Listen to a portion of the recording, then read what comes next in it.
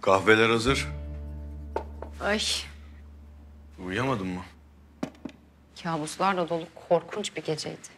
Ne gördün? Sabaha kadar bana gelinlik seçtiler.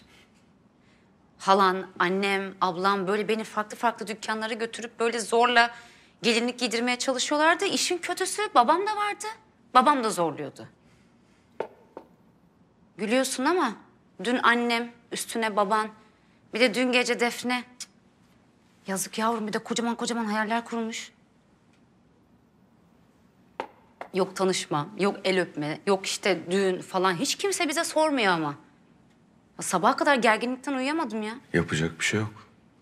O eller öpülecek, o gelinlik seçilecek, giyilecek, o dans edilecek. Ne diyorsun ya? Ciddi misin sen? Evet.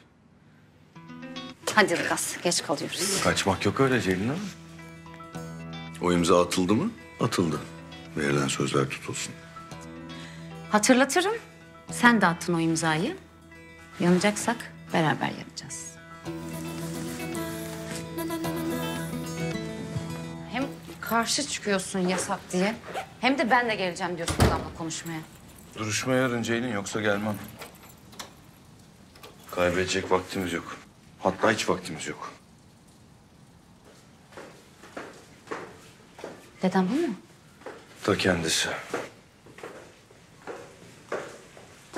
Oo, avukat gelinim sen burada mıydın? Merhaba. Merhaba. Hoş geldin, sefalar getirdin. Hoş buldum. Sanırım. Belli hoş bulmasan bile her yere hoş edersin. Teşekkür ederim. Ee, bu arada cezaevindeki desteğiniz için de çok teşekkürler. E, ama pek bir işe yaramamış. Olsun. Yine de çok ince bir davranıştı. Sağ ol. Ama yolunuzdan alakoymayayım sizi. Bir gün uzunca oturup etraflıca konuşmak, seni tanımak isterim. Çok memnun oldum. O memnuniyet bana ait. Hadi Ceylin. Hoşçakalın.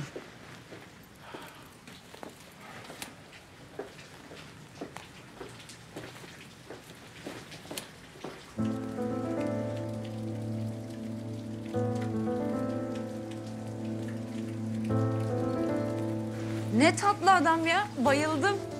Dışı seni içi beni yakar. Defne'nin çantası mıydı o? Aynen. Her gün ısrarla okula bırakıyorum. Çok sevimli değil mi? Sorma.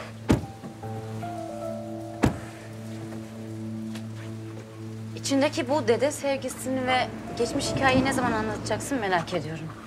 Bana gerek yok ya. Siz kendi içinizde dertleşirsiniz. Onu bırak da sen cezaevinde olan durumu anlatacak mısın?